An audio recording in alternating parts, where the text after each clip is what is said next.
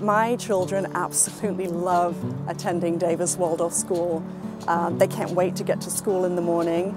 I struggle to get them to take time off. They find everything that they do in the classroom so engaging and inspirational. We wanted our kids to be in an environment where they can grow safely in a compassionate and loving environment. And this is something that Waldorf School offers that a lot of other schools are lacking. It's important to give them the freedom to grow and to speak up and to express themselves in a way where it's okay to be right or wrong. As a parent, I brought my children to Davis Waldorf School because I was looking for an education that really fostered the whole human being.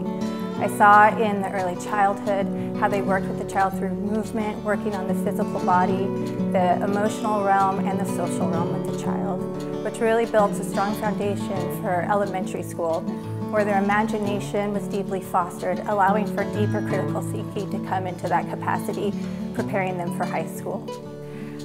My sons, uh, over the course of 10 years at Davis Waldorf, made everything from uh, woodworking products like uh, they made stools, they made uh, cars. They started out in kindergarten making a boat that they sanded and had to put the effort in and then went out and sailed the boat. And all of that lives in my children. They know how to take something from A to Z. They're able to take their passions and then to make things happen. And that's what I believe that they got out of Davis Waldorf School. I would say my children are very well prepared for life. Yeah, they've, they've gone through a Waldorf school that has given them an approach to life that is quite unique and strengthening.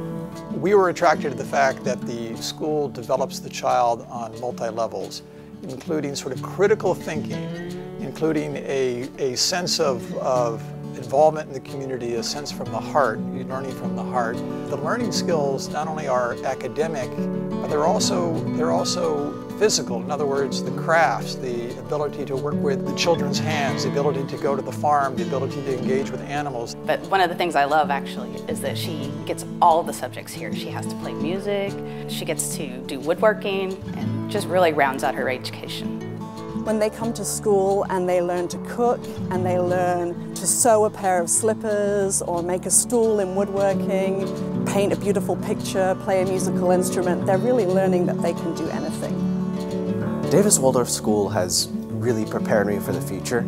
It's allowed me to communicate better and think critically about what I'm learning and apply the information that I'm learning. And I think Waldorf really helps you learn not just what you're supposed to learn, but how to learn in general.